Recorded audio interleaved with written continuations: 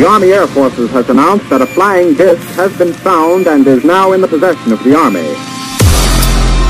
The Army may be getting to the bottom of all this talk about the so-called flying saucer.